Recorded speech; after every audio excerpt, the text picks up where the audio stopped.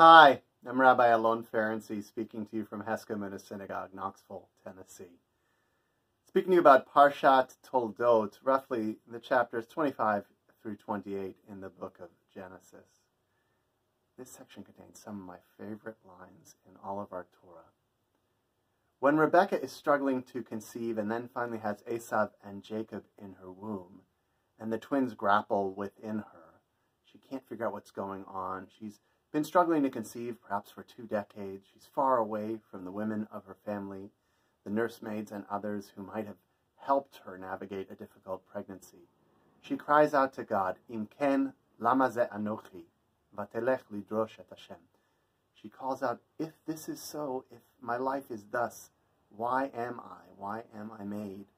And she went to inquire of God. As I've said elsewhere, this to me is the fundamental principle of theology that we acknowledge the reality of the world as it is, the difficulty, the challenges, its grace and beauty, of course, as well.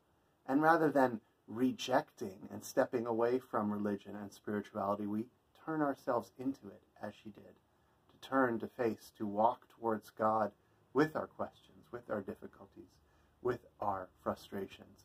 it's a very powerful and beautiful moment, and single, singly, in that it's conveyed also by a woman, an unusual experience for a woman's voice in our Torah, making it all the more beautiful, I think, in some ways.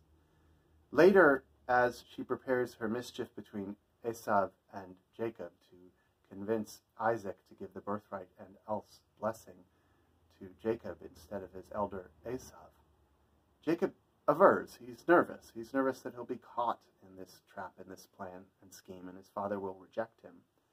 And Rebecca there says, Your curse will be upon me. I think when we engage in the work of theology, spirituality, and religion, when we turn toward God in the questions, we also, in so doing, accept upon ourselves the difficulties of the world, its many troubles and tribulations. And so the process of theology is one of not rejection, but stepping deeper into the world and its mysteries. I hope that's something you'll begin, continue, and consider this Shabbat. Shabbat Shalom.